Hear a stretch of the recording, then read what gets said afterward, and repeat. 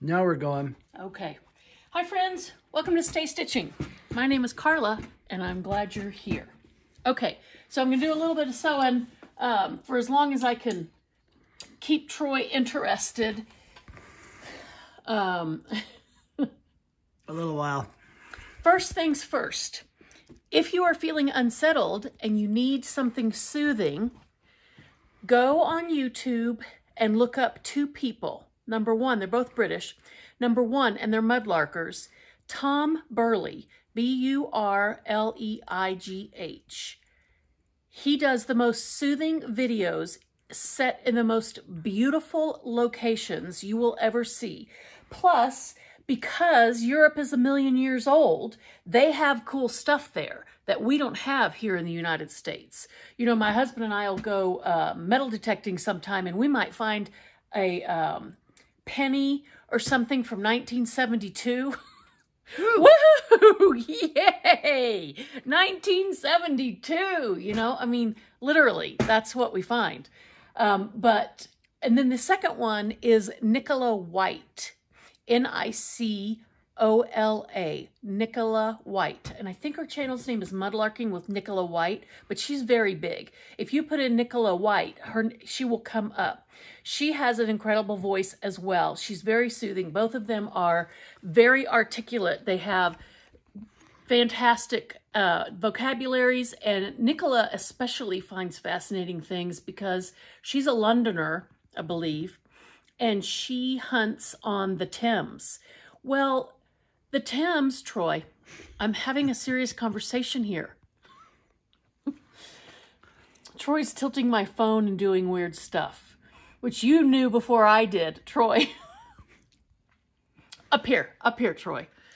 Um, she'll find stuff from Roman times, you guys. So if you need a little break when things get too much, I suggest you check out both of those channels. You will feel very soothed, okay? So there's that. The second thing is, um, I was watching Nicola's latest video, and she had an idea that I really liked the sound of. She asked her viewers, and she's got jillions of them, um, to send her footage of them mudlarking or creating in their studio, um, you know, doing whatever it is that they're doing. And I thought that I would ask you guys to please send me short clips of you in your makes or you in your studio. Maybe you have a super organized sewing room or craft room and you want to give us a quick tour. Um, I would suggest that you keep the videos to no more than five minutes. You can also send me photographs um like and and they don't have to be sewing. If you have another craft that you're going to do that you do then definitely show that. And i will put them on my channel. And everybody else can see what you are up to. Now the two pieces of advice that i have for you for filming if you're not a youtuber um, as you all know that i am the least professional youtuber out there um, we filmed stop it we filmed on my Samsung Galaxy Note 8 forever, and then I just, this is a um, iPhone 11, and I've had it for probably a month or less now. And so that's what I film on. I don't have a, a, vlogging camera or anything like that. So the two pieces of advice I have for you is hold your phone sideways like this. Let me see your phone. Here's Troy's phone. Hold your phone sideways like this and keep it as still as possible. So otherwise you'll make your viewers sick. If you have a husband or a child who's filming for you, just ask them to hold it as still as possible. If you want to show them something else in the room, just move very slowly, like in super slow motion and that won't make them sick. And then if you want to show something down, just move the phone slowly down or up and down like this. And if you do that, your videos are going to be as good or better than mine. Um, my email address is Carla Mayfield, the number five, at gmail.com. And you can send me anything to that address, and I will get you up and we will continue sharing and working together and having conversations and checking out what we're all doing. And um, so I hope that's interesting to you. Commercial break over. Now, let's go back to this um, sewing business. This is the two hour cardigan that um, I am taking forever to finish. I don't know what my problem is, but I do have a question for you guys. I never know what to do with interfacing. I burn it, I melt it, I'm constantly messing it up.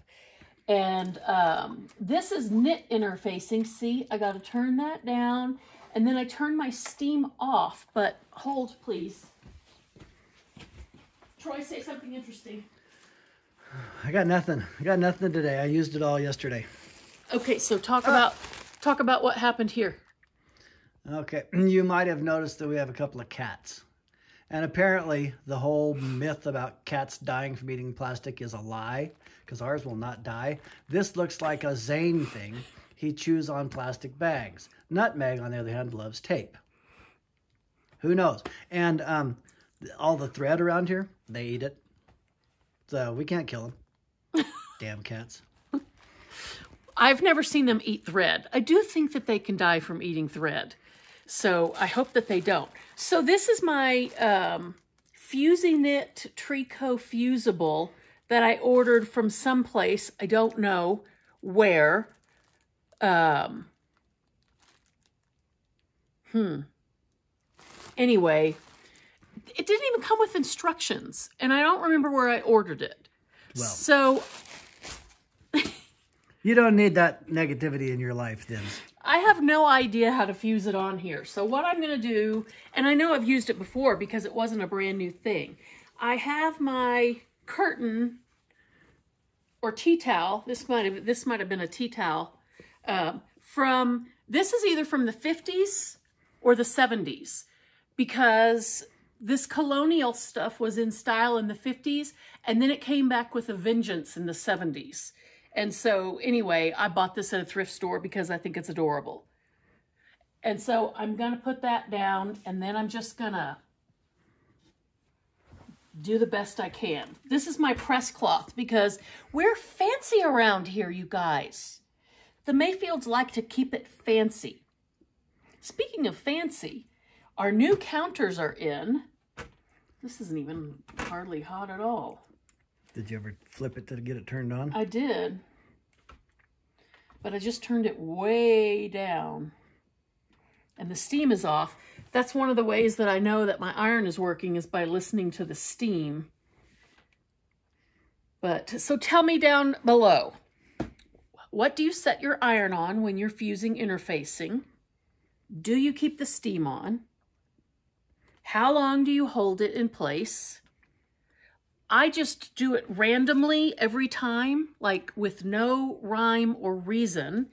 And then I will um, pick up the press cloth and then pick up the, uh, then see if it's stuck, the if the interfacing is stuck. And that's how I do it. It's no method That's what I do. of any kind. But I've never done that. But I would if I did. I don't know. Action shot. This is almost as much fun as watching paint dry. I know, it's not very stimulating. Let me see if I can think of anything else to say. My sister and I have been FaceTiming and stamping together. It's easy to do FaceTiming and stamping instead of sewing because, as you know, when we're sewing, we're getting up nonstop. And so it's a little bit harder because I'm constantly wandering around and I have my sewing stuff spread out all over the world. You may That's not even remotely mm-hmm. melted. you may have hit upon why it's taking forever to make this sweater. I know. You wander off, lose tension. I do wander off. Okay. I okay. I don't know. You guys, I don't know. I need help.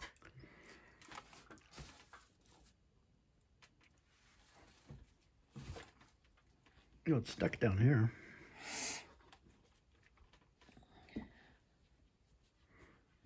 See? Stuck. Yeah. That's the technical term for it. No, wait. Fused. Fused. Yes, yes, yes, fused. Well, and I'm a little nervous because this fabric has it's very unnatural. I mean, this is going to be I know this is our spring module, but I'm telling you what, it's going to have to be pretty darn cold for me to get away with wearing this very much. Don't worry, it's going to snow later this week. Next week. Here. Okay. This fabric is so thick that I considered, and tell me what you think about this. Do you ever leave interfacing out?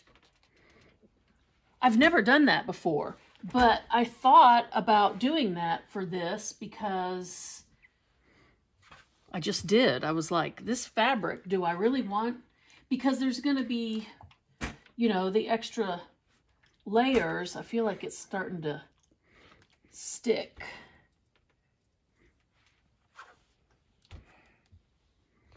Did you put the right glue side down? Well, yeah, obviously you did because it did stick. Oh, Just checking. we would know very quickly if we didn't.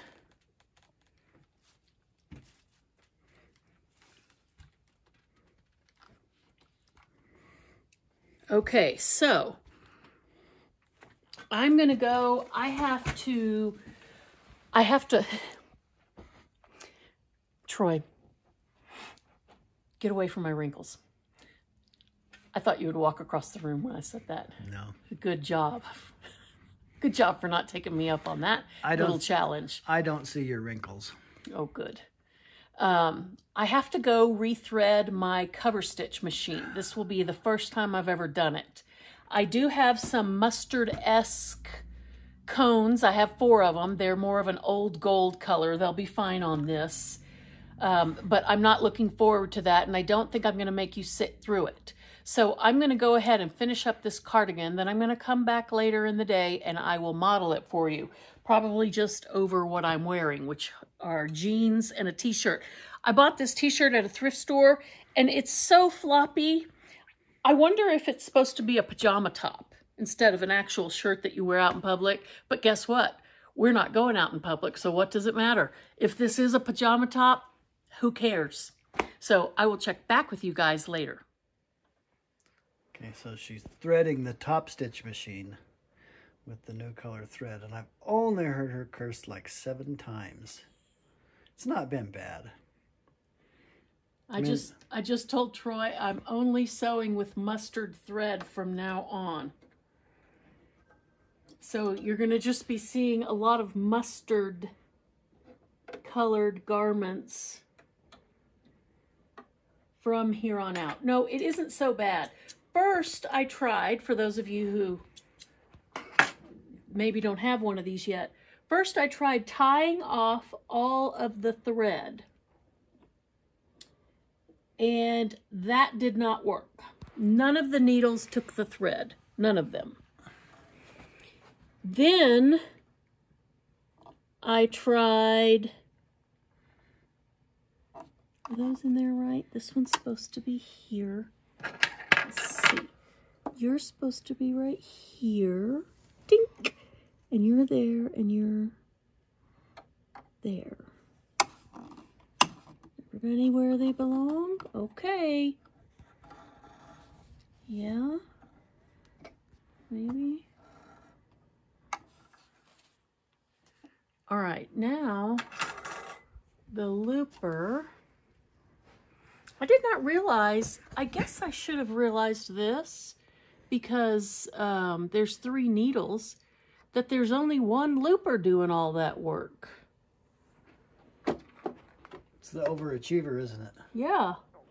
All right, this has to go through all three of these holes.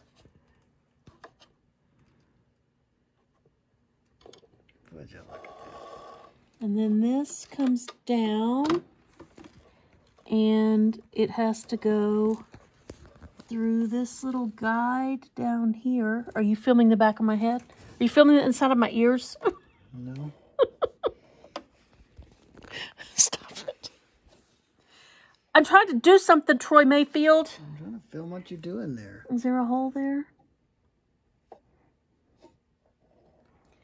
And then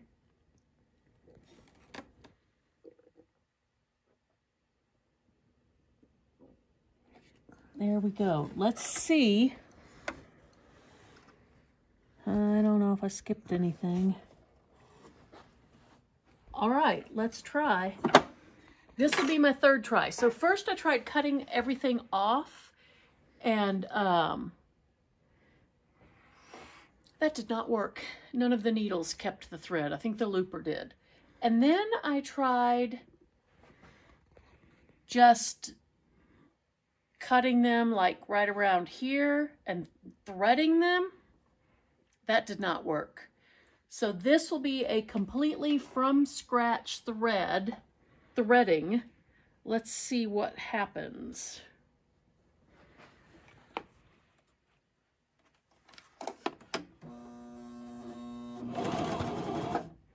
And then you can lift this up and pull your thread so that it's in the back. Well, that wasn't even sewing. All right. Um, I'm not sure what that means. Let me try this again.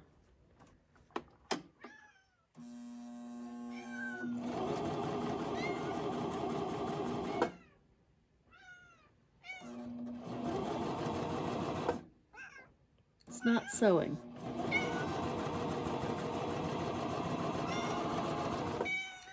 Okay. Nutmeg. Hi, Nutmeg. Hi, Nutmeg. All right. Meow. Definitely more satisfying than a not sewing top stitcher. Nutmeg. You can come up here and help me? You can help me, Nutmeg. I don't know how to do this. Your little pads are cold. Have you been outside? All right. I think that I'm going to not do this. I think that I'm going to have to find my book, figure out what I've done wrong. This is old thread. Maybe it's the thread. Maybe this thread is super... No, not that. I don't know. I guess I'm going to have to watch another video. I've put my book someplace safe. But I have, I have Johanna's book as well. I just need to find those and sit down when I have some time, not when I'm trying to finish hemming a completed garment. So I will do that another time. This cardigan will be hemmed on a regular machine with a zigzag stitch. So I will check back with you later.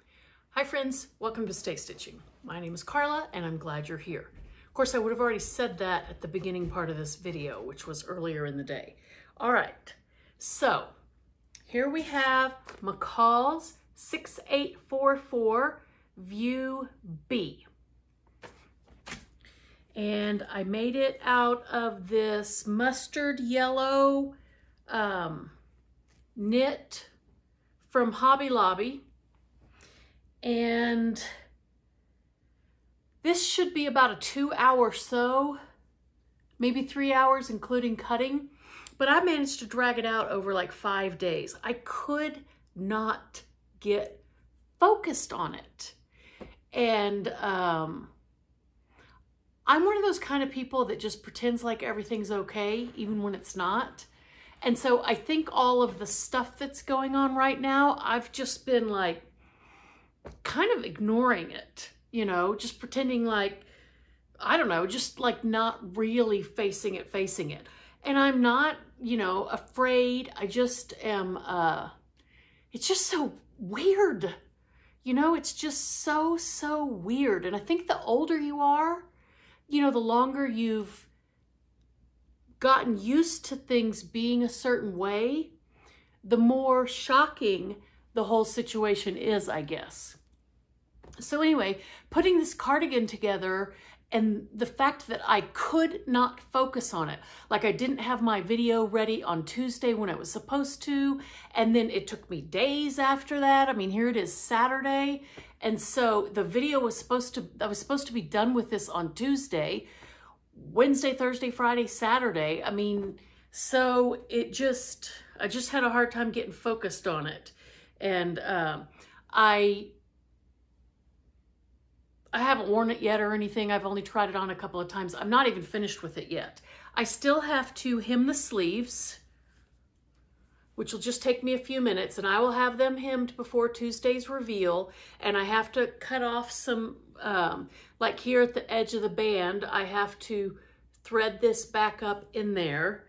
Um, there's some weird parts to this pattern that I don't like like I don't like the way they had you finish this. You hem this part first, you do your band in its entirety, turn it out, and then you sew them together right sides together. And so then you have this there. I would, if I like this, what I would do next time is I would leave this section unhemmed I would put these two together and then I would fold this up and iron it so that it was even with this. And then I would hem so that this wasn't right here. I don't know. I don't know if that would work. The other weird thing that I was thrown by was all the amount of faffing around that they wanted you to do in terms of sewing every seam twice and then trimming. I just, I'm such a rule follower. I try to follow the patterns exactly every single time, but I just couldn't do it. And so I did the whole thing on my serger.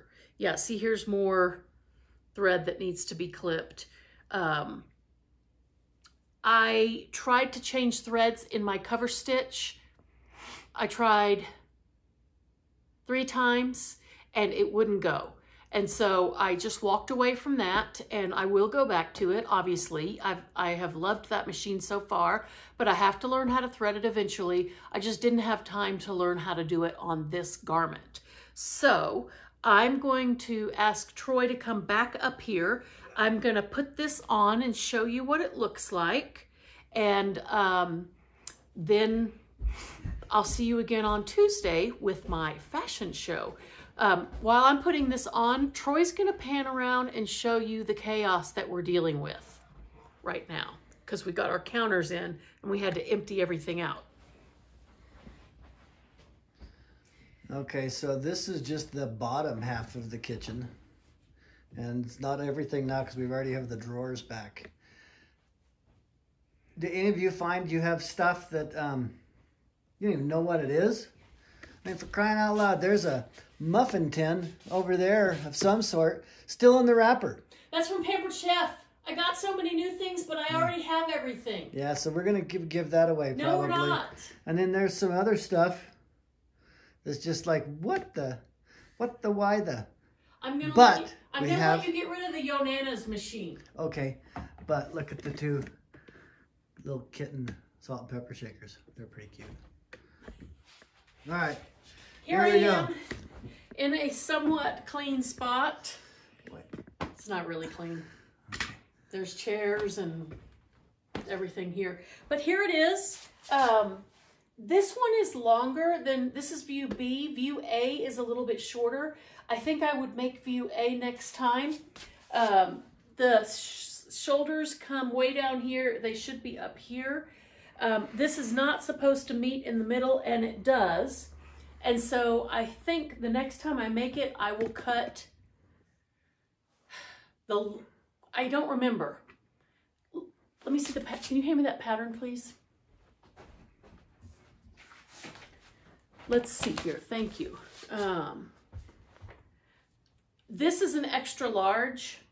So next time I make this, I'll definitely just cut the large. I haven't pressed this yet. I can see by looking down at it that it looks bad. But um, I think it'll be cute. What do you think? Woo! Cardigan! Cardigan! Woo! Cardigans! You guys take care, and I will see you either before Tuesday or on Tuesday.